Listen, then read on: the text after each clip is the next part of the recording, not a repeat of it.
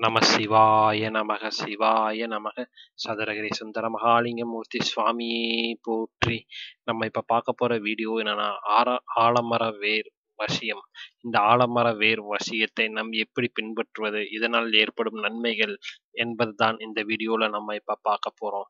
முதலில் வந்து வியாழக்கிழமை அன்று குரு ஓரையில் ஆலமர வேரை இரும்பு படாமல் அறுத்து பின்பு பசுவின் கோமியத்தில் இரண்டு நாட்கள் ஊற வைத்து பின்பு செம்பு பாத்திரத்தில் தூய விபூதி அதாவது பசுஞ்சான விபூதியில் தூ பரப்பி வைத்து பின்பு இந்த ஆலமர வேரை நன்கு பொடி செய்து அதாவது இரும்பு படாமல் பொடி செய்து அந்த விபூதியில் கலக்கி பின்பு ஊதுபத்தி பத்தி சூடம் இவைகளை வைத்து பூஜை செய்து.